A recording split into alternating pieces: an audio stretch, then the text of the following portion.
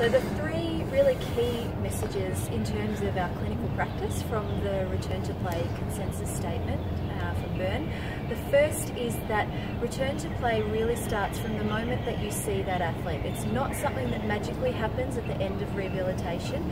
It starts right at the beginning and runs in parallel with recovery and rehabilitation.